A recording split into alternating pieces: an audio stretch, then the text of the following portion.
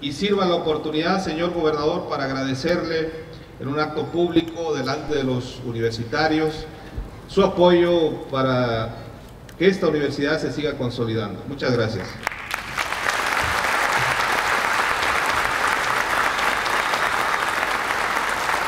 También saludamos con mucho aprecio a la presidenta de la Cámara de Diputados.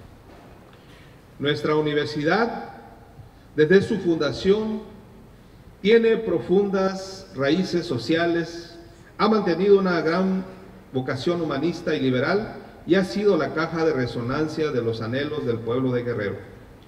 Hoy en la perspectiva nacional de transformación política es de justicia reconocer a las mujeres y hombres que han jugado un papel muy relevante en nuestro proceso de cambio político. Es por esa contribución a la transformación democrática de nuestro país y por su actuar vivo y militante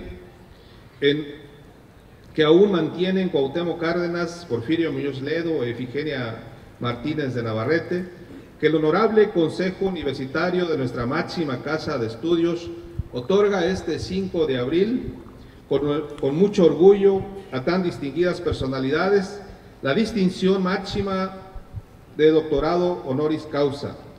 Enhorabuena y reciban de parte de la comunidad universitaria guerrerense y del mío propio un fuerte abrazo, un agradecimiento y una felicitación.